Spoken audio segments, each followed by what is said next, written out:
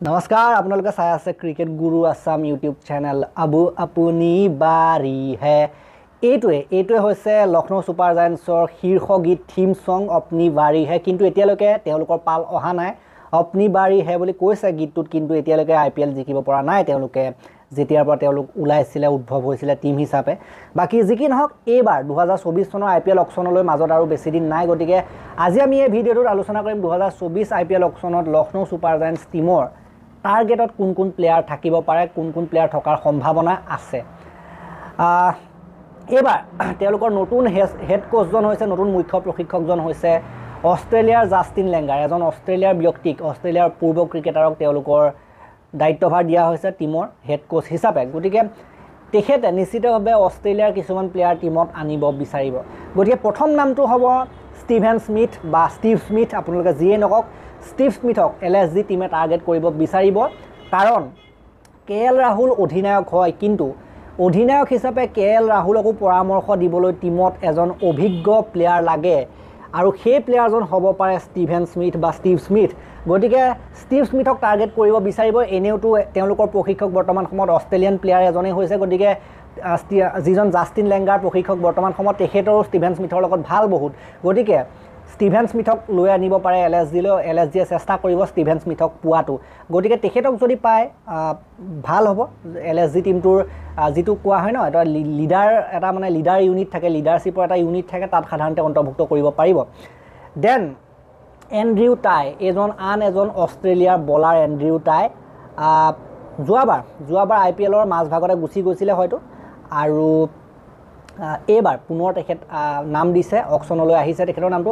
Andrew Tai আই P এলত আগতে হেট্ৰিকো লৈ থৈছে আই পি এলৰ ভাল এক্সপিৰিয়েঞ্চ আছে আৰু লগতে বিগ বেছ লিগতো তেখেতৰ প্ৰদৰ্শন অতি উচ্চমানৰ ভাল প্ৰদৰ্শন কৰিছে। গতিকে টি টুৱেণ্টিৰ এখেত ভাল পাকৈত বলাৰ হয়।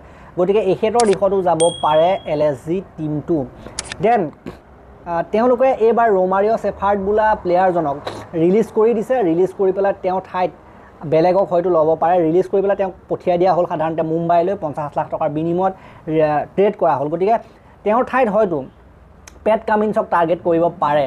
পেট কামিন্স বুলি ক'বলৈ গ'লে এইবাৰ বিশ্বকাপ বিজয়ী অধিনায়ক হয় গতিকে সেইটো টেগৰ কাৰণে তেখেতৰ দামটো নিশ্চিতভাৱে বাঢ়ি যাব অকশ্যনত আৰু ৰোমাৰিয়া চেফ ৰোমাৰিঅ' চেফাৰ্ট যিদৰে আগতে বলিং অলৰাউণ্ডাৰ আছিলে যেনেকৈ বলিঙৰ লগতে বেটিঙতো এটা দুটা কোপ দিব পাৰে ছয় দিব পাৰে। গতিকে সেইটো ক্ষমতা কিন্তু পেট কামিন্সেও ৰাখে গতিকে পেট কামিন্স টীমৰ সদস্য হ'ব পাৰে।